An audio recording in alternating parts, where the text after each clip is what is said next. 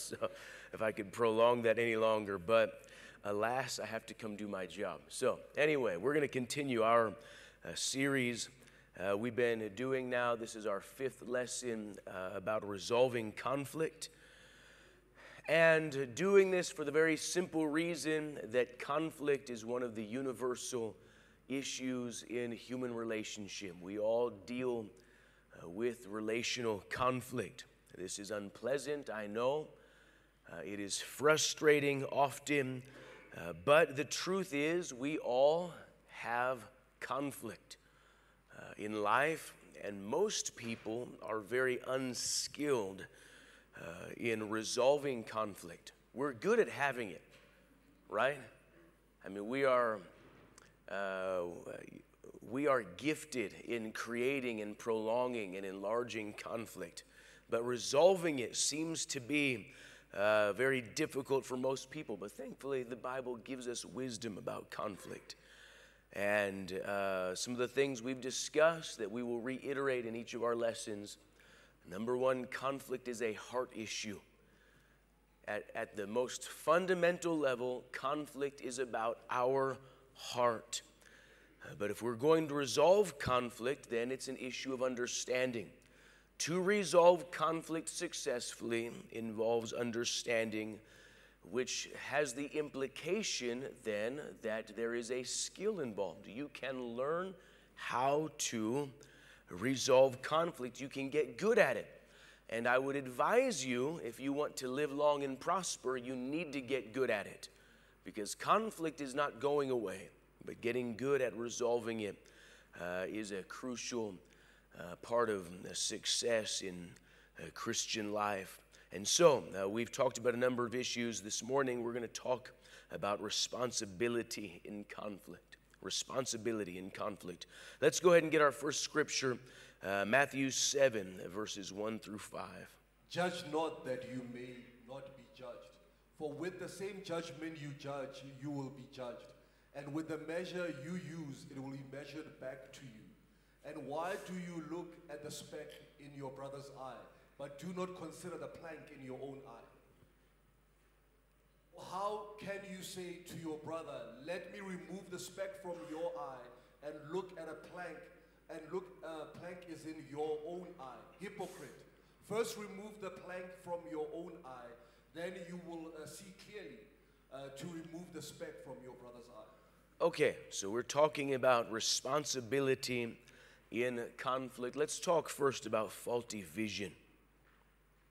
Faulty vision. Now, this is going to be a bit of a, a repeat. We've discussed this already, uh, but it needs to be emphasized. Uh, in conflict, our focus is often uh, incorrect. Uh, first, we focus on the fault of the other person. Of course, that's why we're in conflict, right? It's what they did to us, and so that's our first uh, primary focus. We focus on the details of their offense, right? We know uh, in great, uh, in high definition clarity what they did, what they failed to do, what they said, how they said it, uh, their tone of voice when they said it, right? Hello. Their facial expression. You ever have your mom say, Don't look at me in that tone of voice? And when we were kids, we thought your mom was crazy, but you get in conflict with someone and you're like, Did you see how they looked at me? Yeah, I know what they were thinking. And so our focus, of course, is on them. And then, as we discussed last week, we begin to focus on their motive. We have uh, this idea that we know why they did it. We're focused on their motives. We've become mind readers of sort. And so, yeah, no, the real issue is I know that they meant to hurt me. Or actually, it's because they are evil. That's why they said it. Uh, I know, Pastor Heinberg, you always say you've never met any evil people. Yeah, you need to meet the person I'm in conflict with. They're the first, it's, it's the devil incarnate. I know. Uh, they're not Christians, whatever. So w- the point is, we focus on what we perceive their motive uh, to be. Then uh, we focus on ourselves incorrectly. You know, we talked, uh, we did an entire lesson on focus in conflict, but we begin to focus on ourselves. We focus on our feelings. I am hurt I feel disrespected, I am disappointed, I am angry. Uh, we focus on our rights, right? This is interesting, right? It's, it's just, but Pastor, it's just not right. They shouldn't do that. It's not right, right? As if we've got this invisible Bill of Rights somewhere we're holding up. When I walk into church, I deserve and they violated my rights. I should be treated differently. And then, of course, uh, we usually tend to remove our responsibility from the conflict. Uh, you know, I didn't, I didn't do anything wrong. I'm the innocent one. Uh, I am the victim. And because I feel bad, right, my feelings and my rights make me assume that I'm correct. So, our scripture highlights this very uh, painful reality and that is that we may not be seeing things correctly. Matthew 7, verse 3.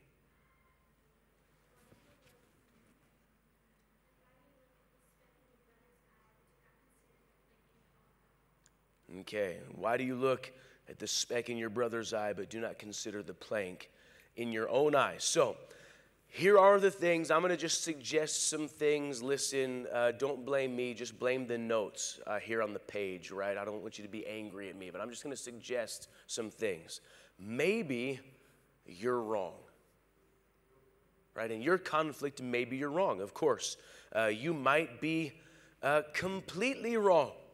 It might be that you completely misunderstand the entire situation. Um, uh, and uh, you're the cause of the conflict. Friday night, right before the men's rally, I was sitting in prayer, and uh, Pastor came up and he kneeled down next to me and he said, Pastor, I, I, I have to let you know something. And I said, What's that? And he said, I cursed you. And I was like, and I'm like, what? first of all, why are you telling me this right before I preach? You know? And I was like, okay, uh, why is that? And he says, Because I think you're a good man. And I was like, What? I said, Back up. What did you just say? He said, Pastor, I trust you. Oh, you trust me. Okay, because that means something totally different than what I heard. You know, maybe you're wrong. No, Pastor, they really said it. I'm sure you believe that, but maybe you're wrong. Maybe it didn't happen the way you imagined. You could have the facts wrong completely, or maybe you're interpreting the nature of the events wrong. You know, they said something and, and you didn't understand where they were coming from, or there was a misunderstanding, right? As our scripture says, if you've got a plank in your eye, it's possible you could be misinterpreting things. You might just be seeing things wrong. There was a man uh, in the Hobbs Church. He's still there, great, uh, faithful saint. And uh, he had terrible vision, and so he had really thick glasses. But his vision was so bad that he could never tell that his glasses were dirty. I mean, it was just bad. And so, you know, I, I wear glasses. I'm sensitive to that kind of thing. Like in the morning, I'll get steaming hot water. I, I, I want them clean. And so he'd talk to me like, Jesse, I can't even look at you, bro. Go clean your glasses, man. You know what? You would never ask a guy like that to clean the windows. So maybe if there's, if there's an issue in your life, it's hard for you to see uh, the, the actual issue. Then, of course, they may not be as bad as you see or as you perceive them to be. Matthew 7, we're going to look at a number of different verses through this, this whole chapter, but the whole chapter kind of revolves around relationship issues. And Jesus, you know, Jesus is pretty smart. And when he's talking about relationship issues, he forces this comparison.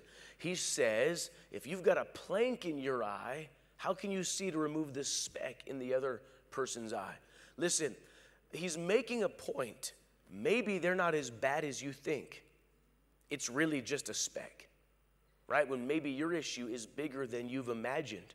I love that Jesus forces the comparison. You know, so you could be wrong. They may not be as bad as you think they are. And then, of course, you might be responsible for the conflict.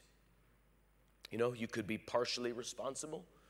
That's the most likely scenario in every conflict. You may have caused the problem in the first place. You may have contributed to the conditions that caused the problem, right? You, you created the environment or you, you created the setup for this. Maybe your reaction made the conflict worse than it needed to be. Uh, you know what? People can do some knuckleheaded things. Is that true? Maybe there's a couple of you that agree with me. You're, you're afraid this is a, a trick question. It's not. Right, but the problem is a lot of times it's our reaction. We blow up. We've got words of anger, cutting words. Oh, right. Like you're sorry now? Right? So now we can actually make things worse. Even they start, but now we are enlarging the issue, insulting words. We bring up the past and unrelated issues. You know, uh, someone has one minor failing today, and you want to talk about the last 10 years, every failing they've ever had. Proverbs 12, 18.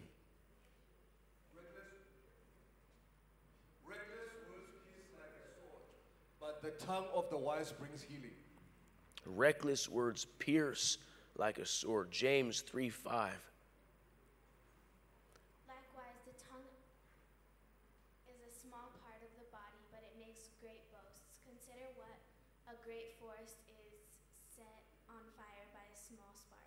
You know what's interesting about that uh, text is I've read commentators about it we naturally think a big forest, right? You know, a little spark can create a big fire, which is true. But there's another way to interpret that. A great forest could be talking about something that's, that's wonderful or beautiful or powerful. Uh, just a little thing, little words can destroy beautiful things. James 3, verse 8. But no man can tame the tongue. It is a, a restless evil full of deadly poison. Okay, so here's the point is that it's possible uh, that we, in our reaction, may have made things worse. We could have enlarged or exacerbated the problem. So, on the other hand, we must consider that uh, we might be totally responsible for the conflict. I understand in most conflicts it's, it's the contribution of two parties, but sometimes it's all us. And we have to be willing to admit that. If we're going to survive life, if we're going to have healthy relationships that stand the test of time, there's got to be a point to which we realize sometimes I am uh, the, the knucklehead. It's all me, it wasn't you. And so we have to be willing to accept that at some point.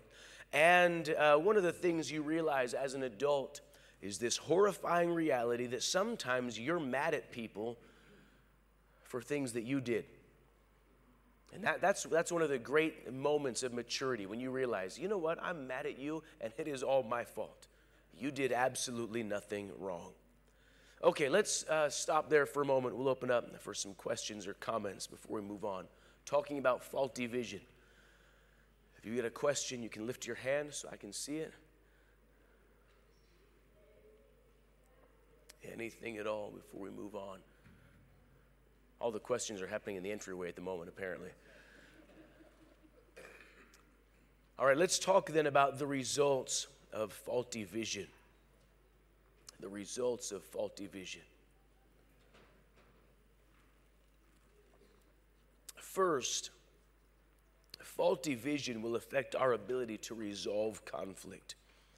That was kind of the point of the illustration. Jesus says, if there's a plank in your own eye, how can you see to remove uh, the speck in your brother's eye? In other words, how can you possibly fix anything if there is a plank in your eye? Can we be real about that? Right? Anything, right? Uh, you couldn't fix a cup of coffee with a plank in your eye, right?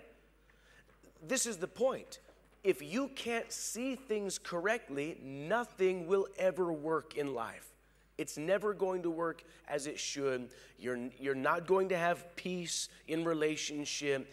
Uh, you're not going to have a healthy conflict resolution. Uh, nothing will ever work right if you can't see correctly. That is why, in the physical, we, uh, we treat uh, vision impairment as a disability. Is that right? Right? If you are blind or vision impaired, it's considered a disability. That's true in the spiritual. If your vision is impaired, you are disabled. And most importantly, in the context of our lesson, is that you will never be able to find healthy resolution uh, to your conflict. So, human nature is this we hate to be wrong and we hate to be embarrassed. Uh, and if you uh, if you uh, maybe you like to be wrong or you like to be embarrassed, you've got other problems I can't help you with. So here's the problem if we don't like to be wrong, if we don't want to be embarrassed, if someone comes and places the blame on us, you know what, you big jerk, you did this, and what are we going to do? We are instinctively going to defend ourselves. We're going to defend our ego. We're going to defend our, how dare you say that? Right? right? Let's be real. If someone comes up and says, you know, I've come to the conclusion that you're a jerk, you're a horrible person, you're a monster, you don't know how to raise your kids, right? And your house smells funny, right? How often would we say, ah, you know what? Thank you. God. Yeah, you are, you are helping me to become a better person. I just so appreciate you. Right? That's not real life. That, we don't instinctively respond like that. Maybe uh, you, you, know, you can get to a level where you can respond uh, with peace, but uh, we're not usually pleased with that.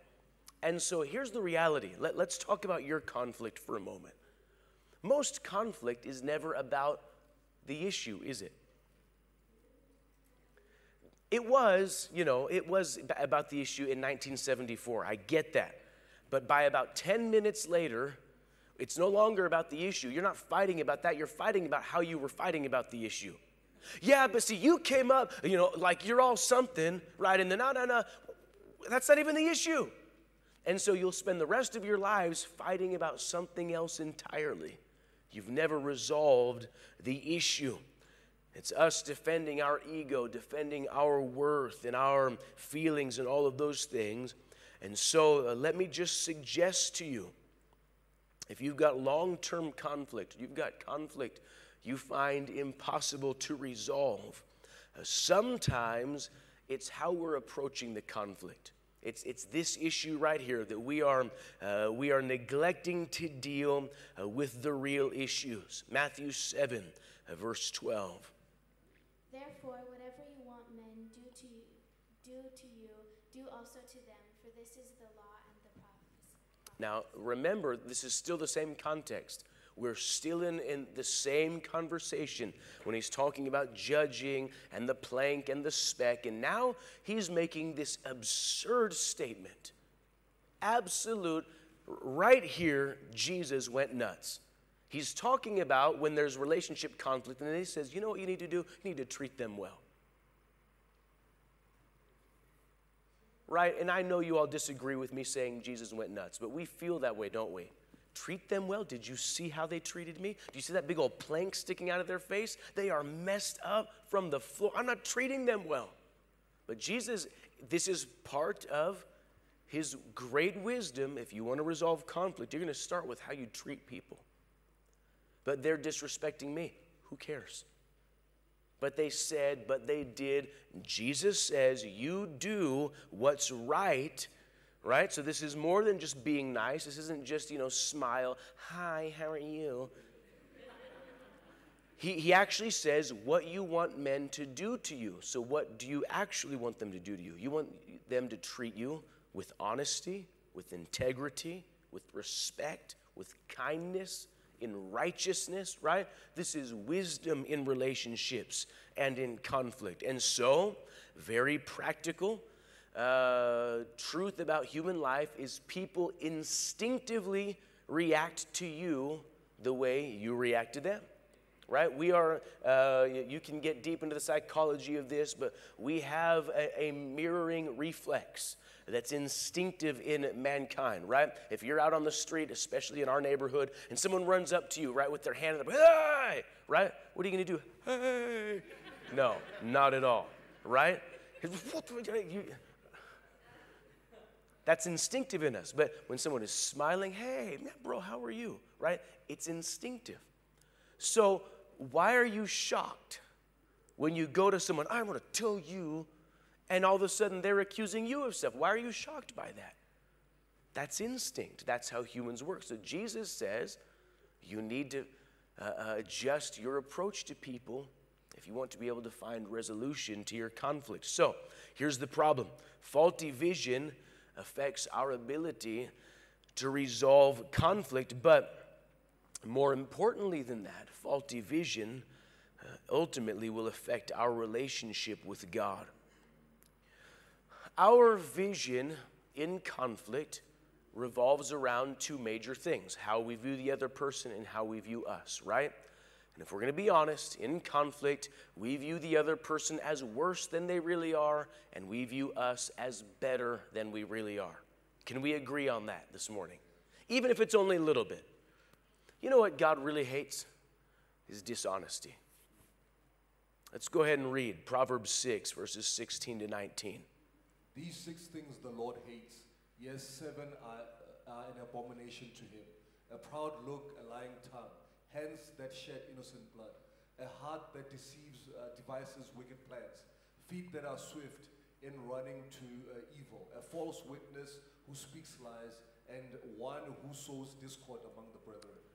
What's interesting about all these things that God hates or that are an abomination is how many of them can be tied to simple dishonesty. Th- this is the essence of it. And so, let, let's be real.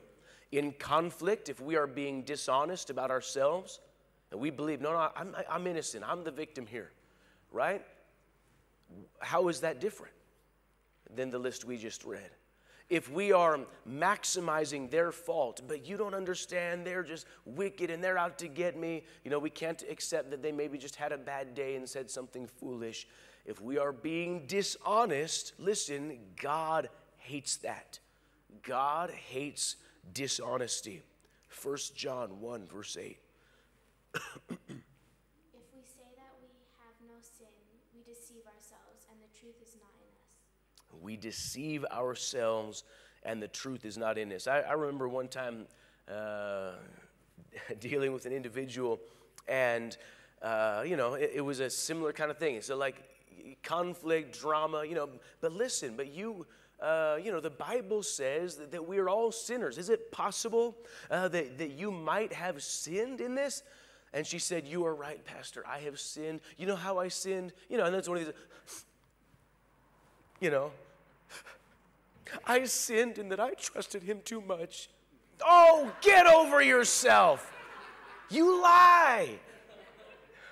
Right? It's like when you go to apply for a job you know what's your you know what's your biggest weakness? Oh my biggest weakness is that i'm a perfectionist. Oh you're not. Your biggest biggest weakness is that you're dishonest right? But but let's be real. In conflict that's where we most often say that we have no sin we don't say that about all of our we, we can look it up and say oh yeah no i got sin but not in this conflict issue i am the innocent victim so there is a direct connection uh, between our relationships with people and our relationship with God. God actually even connects it to our prayer. Mark 11, verses 25 and 26. What, and whenever you stand praying, if you have anything against anyone, forgive him, that your Father in heaven may also forgive you your trespasses. But if you do not forgive, neither will your Father in heaven forgive your trespasses. And so, this is a very practical thing. He's saying essentially, if you want to talk to me, you got to work these things out. You can't live in unforgiveness and have a proper relationship with God. Right? There's a lot of reasons for that. Of course, the very simple is that he declared that it is so. But let's be real. The person you're in conflict with most likely is also a child of God. So how does God feel about that? right? That you would be willing to speak evil of one of his children, yet, oh God, I love you so much. I think that that's a, a serious breakdown. 1 Peter 3, verse 7. Husbands likewise dwell with them with understanding, giving honor to the wife as to the weaker vessel, and as being the heirs of the grace of life, that your prayers may not be hindered this is such a great scripture. And then right at the end, he's all, that your prayers may not be hindered. Right? The, the, husbands are like, yeah, sure, I'll be nice to my wife. I can do that. And then he drops that on them. Right? Because if you don't figure out this earthly relationship, it could hinder your prayer. I don't know what the mechanism is there. I don't know how that works. But this is a clear uh, statement from God that there is a potential that when there's a breakdown in human relationship, it creates a hindrance in our heavenly relationship. And then our text, that we're reading from Matthew 7, it goes from relationships to prayer. By the end of this uh, singular discussion, is when he's talking about ask, seek, and knock. And so, this is all the same discussion when Jesus is giving wisdom about finding uh, a healthy resolution in relationships. He's connecting it to prayer. So, this is the danger is that you uh, make a mistake when you believe that you can live in conflict with God's people and live in peace with God. I believe that that is a, a deep error. So let's stop there for a moment. We've talked about uh, the results of faulty vision, see if we've stirred up any questions or any comments this morning. You can raise your hand, a question or a comment, something we can clarify. Okay, all the way in the back. Albert.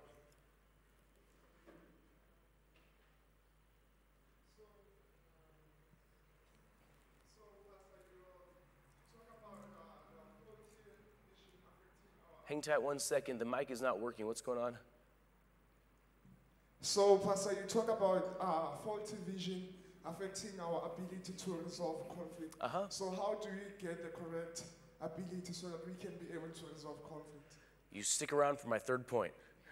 oh, that's what we're going to talk about. Good question. Uh, Sipo. So, Pastor, what, what, what would you say causes us like as human beings to to always maybe see the other person is uh, being always wrong but maybe it's, it's not easy to to see yourself as maybe the, the cause of the conflict. Right. you say um, blurs out the vision? Yeah that's, i think that's part of the human condition. We instinctively think we're pretty great right? That's that's just the, the nature of humanity.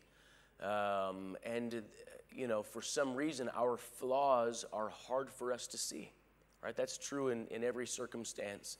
Uh, uh, you know, that's probably part of the curse of sin, I would say, is that it's hard for us to see ourselves honestly. But the dilemma is, is that everyone else's faults are so obvious to us. They're, they're just right in front of us.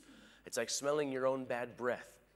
We can't. It's, it's like, I don't know, it's like a, I think it's God's mercy to us, probably, right? But man, you can smell everyone else's, can't you? So I don't know, uh, that, but that seems to be a, uh, a flaw in us. Good question. With a bad answer, sorry. Good, Jonathan.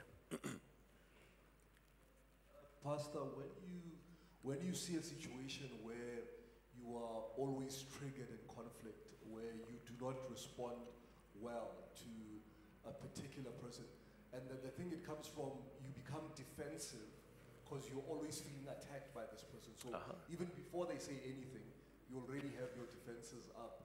How do you see, the, how do you get to a stage where, you know, you, you answer correctly and not allow yourself to be triggered? Well, I can tell you from some personal experience, I, I've had that situation. And uh, I had to wrestle inside myself what do I believe about this person? And so, uh, one of the things Pastor Greg told me early on in one of my early pastoral crises uh, was that hurting people hurt people. And he says, if you could change your view right, from this person is trying to hurt me, change your view to this person is hurting, uh, it'll help you. Now, of course, that, you know, that, that sounds like a tweet, right?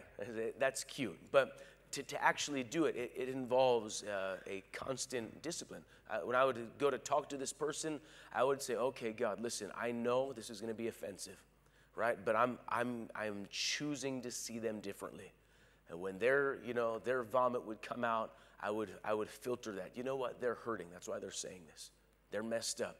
So, uh, in time, that does get easier, but it's an intentional decision.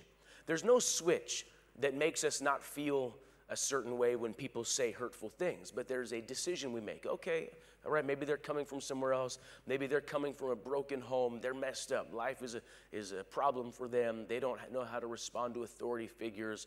I'm going to choose to see this differently. So it's going to have to be a, a discipline, an internal discipline. Good question. Good. What else? Uh, Jabu, and then we'll get Bongi after that. So, Pastor, how do you deal with people who are always offended by the truth? Like when you tell them the truth, they get offended. So, how do you deal They're always offended by what? I didn't catch that part. when you tell them the truth? Like maybe some. Uh, Oh, when you tell them the truth. yeah. Uh, well, that's a whole different lesson. Uh, you know, truth uh, can be presented in many ways, right? And so uh, we have to be willing to accept it might be us. And so, uh, you know, uh, some people, they have a way of, of just being offensive. So let's make sure that that's not us. But, you know, the reality is sometimes we have to speak the truth, and there's no, no nice way to put it, or even the nicest way they get offended by. I don't know how to process that. You'll, you've probably picked up in this series, my focus is always on us, not on other people who get offended. It's on us to adjust our responses. So, good. Bongi, your hand was up.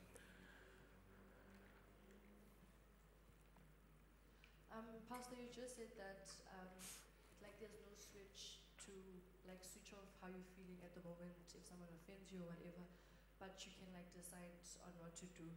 Yes. And uh, I think uh, previously, like the other studies, uh, yeah, the previous lessons, you also said that um, just because we feel something, we we end up like um, taking what we feel and we think that it's the truth. But okay, this is what I usually did. Like if I felt a certain way, even if I decided something different, I'd always I'd always feel like no, like but this is the truth. Why do I feel this way? So like how do you how do you like not um, view like your emotions as truth because you feel that way and like you said there's no switch Right. to Yeah. just shut off your emotions. Usually, time. For most emotional circumstances, time clarifies them. Uh, we've, you've probably experienced that. In, in the moment, it's this enraging or it's sad or whatever, but you give it a little bit of time and then you look back and you think, okay, maybe it wasn't that. So, so time is usually the thing that changes it. Not always. Sometimes we can still feel things. Uh, but like I said in that lesson, emotion is inherently untrustworthy because it can be faked, right? We can fake it with movies. Uh, you know, someone could come and lie to you. Did you hear? You know what Pastor said about you? It was the most horrible thing. And you feel it for real, but it was totally false. So th- that's why uh, I, I believe real maturity is the ability to decide correctly in spite of emotion. So, like I said, we, we can feel these things, but I'm going to choose to decide differently. So, I hope that helps. Good question. Good. What else? Yes, over here. Uh, Pastor, just wanted to ask, uh, how do you solve a situation whereby a person treats you unfairly and when you tell him the truth and then he gets like uh, offended? Yeah, again, you know, like I said, we don't have, I don't have a tool set to fix how other people respond. I only have the tools to fix how we respond. So, unfortunately, that's a difficult one. Yeah, Daryl. He's coming. So uh, that kind of brings up my question because Mm. right after our text, then Jesus says, "Do not." First, he says, "Take the plank out of your eye," and then he says, "Do not cast your pearls before the swine." Right. So is that kind of uh, say, well, once you've done what you can do, then don't uh, keep on. You got to at some stage you got to just walk away from it Right. and say, "I've done what I can do," and then I'm not going to keep on going back and, and reliving this thing. I'm going to just leave it. Now it's up to you. Yeah, absolutely. Yeah, and, that, and that's wisdom in all of this. That's why Jesus, when he talked about prayer, he says, uh, go uh, make it right with your brother. But he doesn't actually say you have to fix your brother's response. We must do what we've got to do. Everyone else's response is up to them. Yeah, very good. Good. Any other questions or comments before we move on? All right, so let's talk about responsibility and healing because we're talking about uh, responsibility in conflict. So we're going to talk about responsibility and healing. So, of course, our scripture is not forbidding uh, ever talking to people about a problem. That's one of the, the basic tenets we talked about a few weeks ago. You must, right? The pattern is if your brother sins against you, go speak to him. And so you must speak to people. Uh, it's dangerous because there is a weird religious twist we pick up sometimes. Uh, Matthew 7, verse 1. Judge not that you may not be judged. Here's the danger is that uh, we can take this out of context. This sounds spiritual, right? Judge not, lest you also be judged, right? And that's what happens when you're witnessing to people, right? The guy standing there, you know, with his uh, weekend mama, right, smoking a joint. Judge not, brother, right, lest you also be judged. Well, that sounds spiritual, but that means absolutely nothing. In the context of conflict, we're dealing with these kinds of issues. Uh, the, the problem is if we never judge anything, if we never deal with anything, nothing ever gets solved, nothing gets healed. Many things get worse, and the work of God can be damaged. Our scripture is not saying don't, don't ever say anything, right? We, remember we read, you know, uh, you hypocrite, you've got a plank in your eye. How can you deal with uh, the speck in your brother's eye? Uh, but what does he actually say? Matthew 7, verse 5. Hypocrite, first remove the plank from your own eye, then you will see clearly to remove the speck from your brother's eye. Wait a minute now. Now, now we're talking about real life, aren't we? Because here's the problem, right? When we're in conflict, we see that other dude, he's got a big old plank in his eye. How dare you talk to me? You don't know nothing. You're so messed up. But you know what? What if he deals with his issue and gets the plank out? What does the Bible say?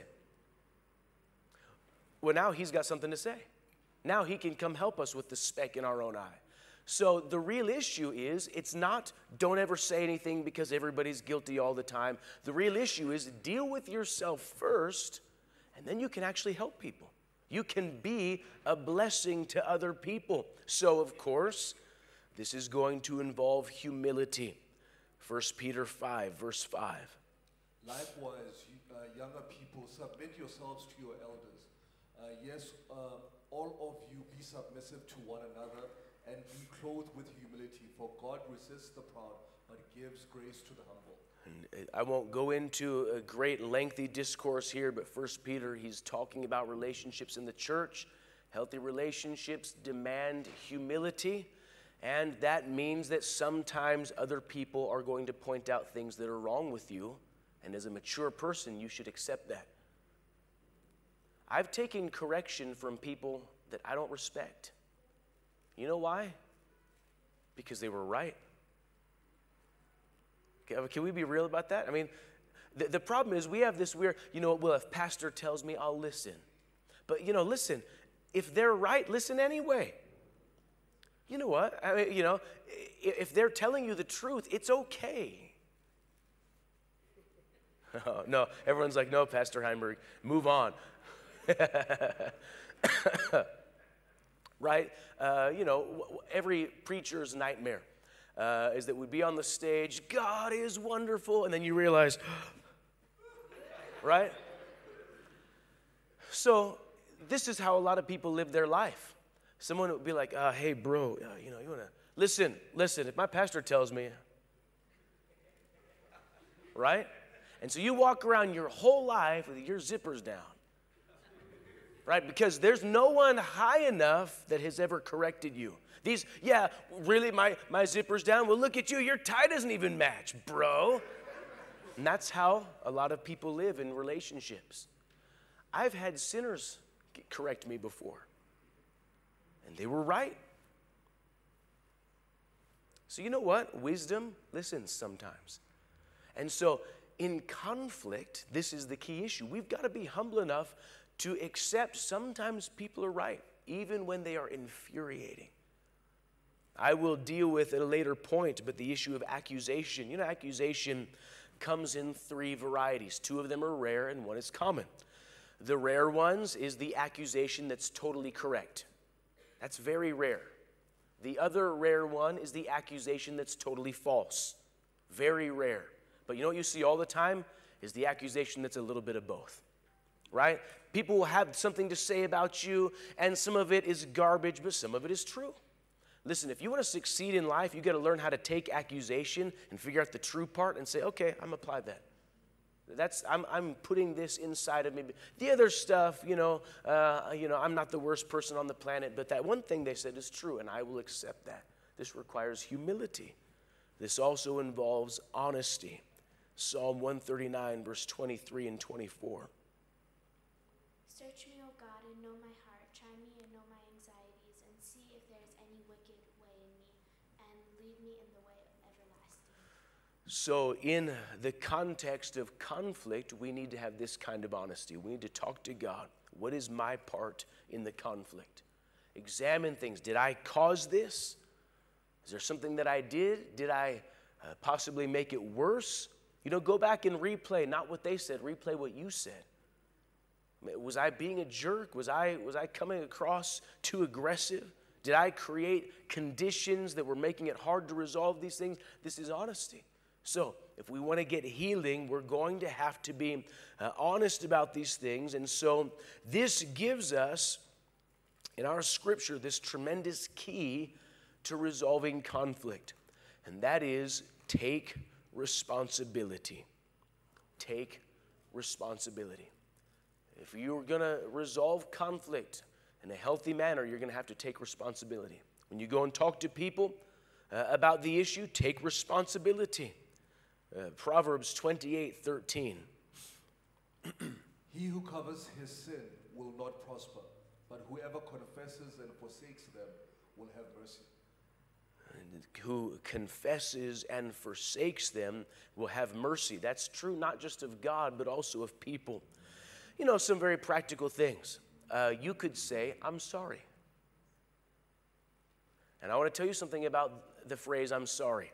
It has no buts in it. You know, I'm sorry, but you really made me mad. That's not sorry. Sorry, you deleted it. In fact, the phrase, I'm sorry, should say, I'm sorry, then there should be a period, and then that's it. If anything else comes after that, it's no longer an apology. You have completely invalidated it. I am sorry. I was wrong. I caused this. I made you angry, or I caused you to be worried about these things, or I offended you, or I responded wrong, and for that I am sorry. It's very dangerous when we try to make our apology an assault. I'm, i know that that doesn't happen in Eldorado Park. I've been your pastor long enough to know that this is not true, but some of the evil people I used to pastor way long time ago, right? I'm sorry you're a jerk. okay, wait a minute. That's not an apology. We had this major crisis in a church I used to pastor, and it was, and I, and I mean a major, this was going to be an existential issue uh, for some families in the church. There was a guy that was creating a massive problem and uh, spoke to him. You're going to go, you're going to speak to this man. Is that there was a guy on staff. Uh, you're going to apologize for what you did. And if you can't get this right, I'm putting your family out of the church. So th- this, this is a life or death kind of issue. And so his first attempt at an apology was like this uh, for you know his big thing. You know, he was making a big production out of it, but what he actually said was, you know, I'm sorry that you interpreted it that way. so I said, listen, I called him back in. Okay, listen, I'm gonna be Mr. Gracious today. But I don't think you understand what an apology even is. You don't even get the concept of it. I'm sorry that you interpreted it that. That is not an apology. You're actually saying you're dumb. You didn't understand what I'm saying. I'm sorry that you made me do that. I'm just so angry right now. I just, no, no, no, no, no. That's not an apology. So, the problem with that is that it looks like you're trying to fix it and you're making it worse. You know, as long as I've been a pastor, uh, you know, it, it's interesting sometimes there are parallels between pastoring and parenting. I will tell people, all right, now I want you to go apologize. You go say sorry. I'm going to watch you, right? Okay. And then, you know, they're looking And all I see is, you know, but what they're actually saying is, you know, I'm sorry, and they're making it worse. Okay, listen, that, that's not helping. Listen, taking responsibility. This is not just being Christian, although it is that. This is just wisdom. If you want to find resolution in conflict, taking responsibility gives you the greatest chance of ever finding healing uh, in the issue. If you will take legitimate responsibility, uh, these people are much more likely to hear you, to listen to you. They'll receive uh, what you're saying. Matthew 7, verse 12. Therefore, whatever you want men do to you, do also to them, for this is the law and the prophets. In other words, how you want them to respond, you need to approach it that way.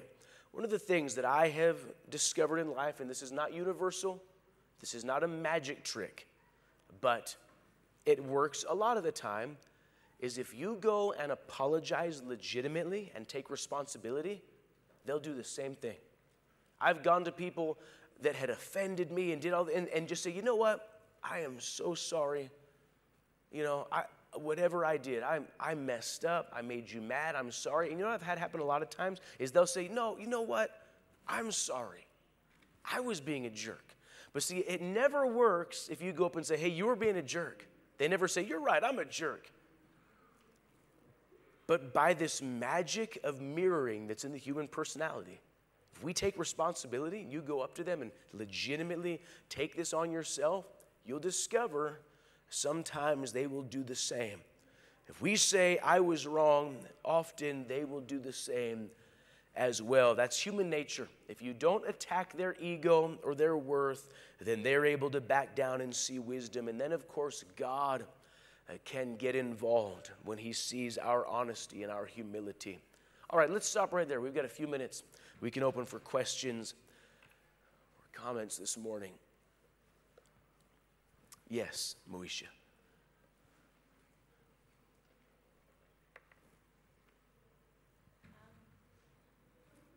Pastor, um, how do you deal with a person that, um, remember one time you said that unfortunately in life you will find those person, those people that will never acknowledge that they are wrong. Yes.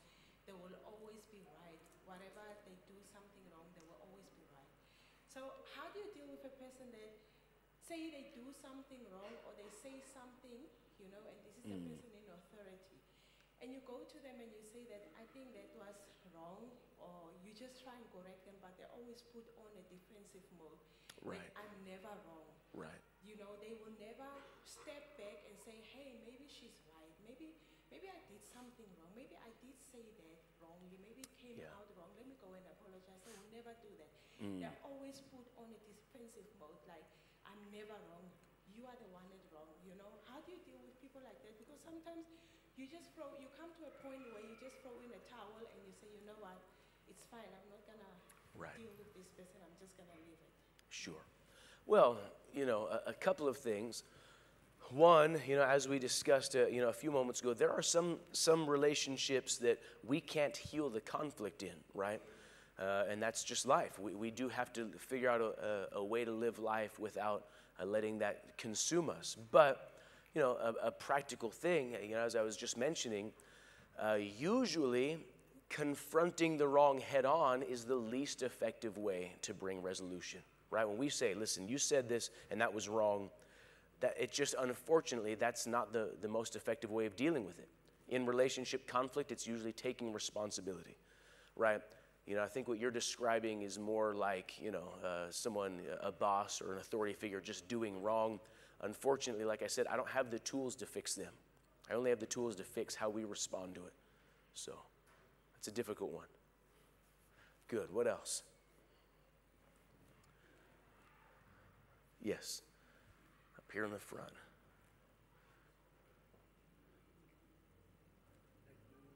As the sisters said, uh, Uh-huh. How do we deal with someone who's always wrong? Me, when I deal with someone who's always wrong, uh, I normally pray to God and refer to the Bible to say, God, you know why is this person uh, treating me like this because the Bible also said we have to endure in hardship in order for us to be strong. Uh-huh. Yeah, yeah, that's your your best bet. You keep talking to God, you strengthen your relationship with God, and you trust that one day God will help them. Yeah, very good. Good. What else? We got a couple more minutes.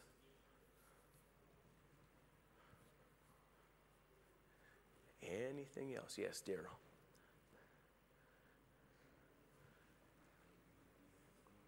So, uh, for me, so, so basically, if somebody offends you or, or you've got a conflict with somebody, Uh-huh. I mean, it comes down to pride at the end of the day, like my pride against your pride. That's why you say, when, if you go and say, I was sorry, I'm sorry, I was wrong, Mm. then normally it's like, uh, it breaks them. But what happens when somebody does something to, not to you directly, but maybe to your family? Mm. Then it becomes a little bit more like uh, that protective Right. uh, part of you kicks in. That's, Right. are you, would you still put that under pride? Or I don't know. I guess you know there could be many uh, uh, varieties of that. I guess, but you know, if someone sins against us. You know, the Matthew 18 pattern. Go speak to him. Uh, I think it still applies. We can speak to them and try to find resolution. Of course, you know, uh, when resolution comes, that's wonderful. But if it doesn't, you know, we have to move on in life. Uh, but with the issue of uh, of that, yeah, I would say sometimes uh, it could certainly be our pride, but maybe not all the time. Yeah, good question. Good. Yes. Pumlani?